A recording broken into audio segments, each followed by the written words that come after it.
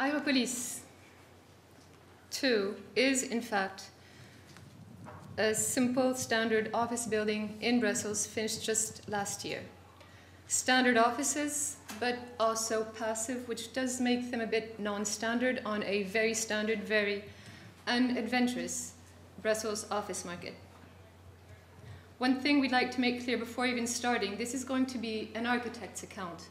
And even though we have learned enormously from all sorts of energy experts and passive house experts, probably the biggest upgrade since I left school, um, we do believe that energy consciousness is only part of what architects should be thinking about when they draw. Obviously, going passive doesn't get you out of anything, and especially doesn't get you out of at least trying to be a good architect. That means that when we drew Aeropolis, we did think compact form, but we especially thought urban integration. We did think high performance facades, but we especially thought of what message that fancy passive skin was going to radiate, how light and color would play on it, how the trees would reflect on it. We did think heat loss and thermal gain, but this is the clincher. We especially thought of what we could offer to those that would be living in and around our building. Architecture is not about thermal bridges, it's about generosity. So, Aeropolis was our generous response to a competition brief received in 2005, calling for some kind of low energy building. We won, calling for some kind of environment friendly building. We won with a low energy building, but very quickly afterwards, my partner Marc Lacour and the engineers we were working with called Synergie, they proposed to go passive because they thought that was end 2005, beginning 2006. They thought that if we were lucky enough to land a commission for a biggish office building like this one, at least we should take time to rethink things. What should an office building in 2010 look like, and what should it look like in 2010 for it not to be obsolete in 2030? Going passive was part of the answer, so we never once looked back. The client looked into everything before saying yes. He asked for exact, precise information, financial and technical, about the risks he would be taking in going passive. We calculated that on an 11 million euro budget, we would need about 160,000 extra euros in order to go passive, mostly for um, extra facade budget, roof insulation, or earth tube, for example. We also calculated that it would take only five years for annual consumption savings to pay back that extra cost. So the client, once he knew that, didn't look back either at all. We drew banking on simple principles that gave rise to predetermined options you see here on the left. We could have drawn 101 different buildings with these options you see here on the left. What we imagined as architects is what you see on the right, the building you see on the bottom. The results are floor plans, plans that look like standard office plans. You have your standard vertical and horizontal circulations, you have uh, stairwells, you have sanitary blocks, and you have um, meeting rooms, standard open space offices, individual offices, all very standard. If you look up close, you can see that something is cooking. For example, the south facade along the street is very opaque, 80% opaque. The north facade, almost as opaque, about 60% opaque. Technical shafts along the facades. Normally on market level offices, the value of an office is determined in part at least by the number of windows that you get. Here, no corner windows for obvious thermal reasons.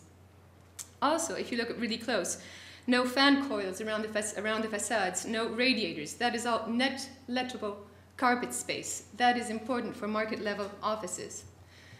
The secret lies here in our very low-tech section that we worked on a lot with um, Synergie. Summer, everything is very classical. We lowered the blinds. That way we don't let the sun heat us up. We bring in cooled air through our earth tube. I don't know if you have a, a pointer, for example.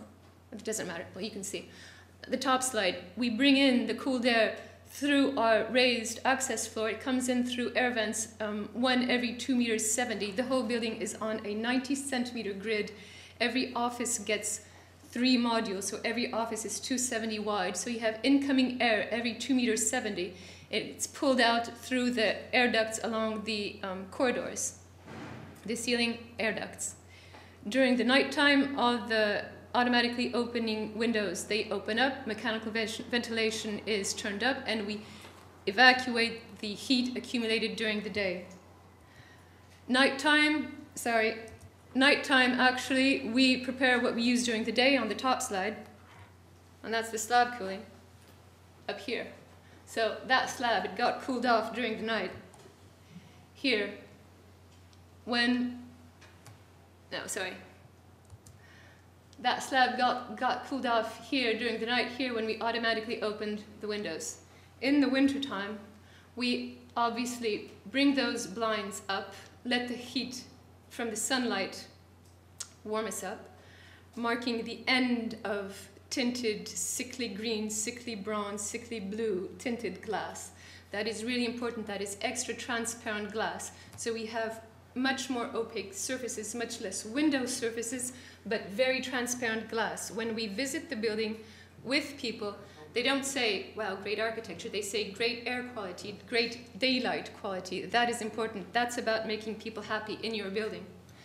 Um, air is pulled in through the earth tube, warmed up, and brought in through the raised access floors, same principle, every 2 meters 70, and then pulled out. We obviously um, use heat gain um, because of the people, the machines, the light fixtures. Structurally, the building is just as simple. This is um, an ultra prefabricated concrete skeleton we are working a lot on for the moment on this project and on the next project I'll be explaining. This is because we are convinced that reuse is just as important from a sustainable point of view as energy consciousness. It's for a whole other talk, so I won't go into that now in order to have time for questions, but it's really something we are working on a lot, also in order to reach budget control. So when we went on site, we started mid 2008 and ended mid 2010. We were supposed to finish at 1,260 euros per meter. We finished at 1309 euros per square meter. That is two months late and 3% over budget. Which gets me to the main part of this talk, what went well and what went not so well on Aéropolis. The facades, that went really well. It's probably where we learned the most from a sustainable point of view. You have to really look up close. For example, here, to realize that those 90 centimeter frames, 90 wide, 350 high, 90 centimeter wide frames, this is prefabricated frame cladding. Frame cladding is not traditional facade cladding. You work with frames. Here they're 90 centimeters wide. In their basic all aluminium form, frames such as these are 12 times more airtight than the mandatory 0.6 value. So we were really convinced that this was the right technique. We had already built buildings with a facade cladder that worked with this kind of frame cladding. We had already tested buildings like that, even for high-rise buildings. So we were convinced that technique-wise that was the right choice. But sustainable buildings, it's not only about energy efficiency, it's also about material choice. So all that aluminium bothered us. So we replaced the inner frames by wood. Timber, I suppose you would say. Um, very quickly we realized that that wood could be Belgian wood, zero transport. We could, for example, easily create grooves, you see here, in order to insert, you can see them there, simple and then double airtight barriers. We could even create hmm, other grooves here. I think here you can see the cabling in in order to put the cabling in to get to our automatically opening windows and blinds. We could use the whole backside for acoustic panels. We work with slab cooling, no suspended ceilings, acoustic problems, so everything that could be used um, for acoustic was, acoustics was important. We had very little money, so every element that we drew, for example, facade elements, had to fill several different functions.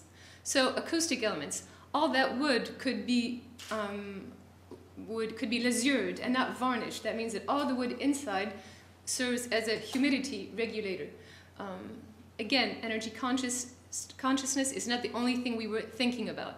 When you look up close, you can see the three different modules that we designed with.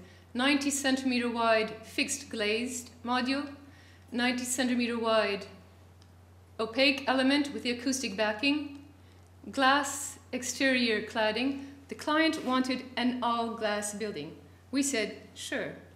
When we started calculating, not, our, not on site yet, but after having tendered, we realized that we had about 110 degrees behind here.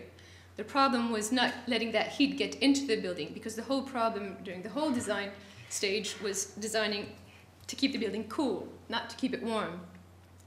In order to get that temperature down, we had to introduce what you see here, perforated sun shields, which are in fact in recycled natural aluminium. Usually those embossed and perforated um, metal elements are placed vertically, horizontally, sorry. We place them vertically. It's a kind of um, air vents that you see on the side of Coke machines.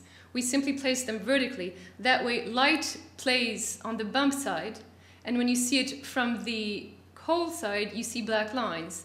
And that is what gives the first image you saw at the beginning of the building with the trees reflecting on the building and, and the holes. When you walk through one way in front of the building from one direction, you see black holes. In the other direction, you see white lines because of the reflections. That is what animates, animates the facades. We were very, not afraid, but terrified of the idea of imagining, of, of imposing on this neighborhood a 71% opaque bunkerish lump. So everything that we could use to animate the facade, that was important. But this is a technical element that we used for architectural reasons. Other example, the opening windows, the 60 centimeter wide glazing elements are topped off with an opening window. You can see it here. That window opens outwards for obvious air tightness and water tightness reasons. If we would have left our blinds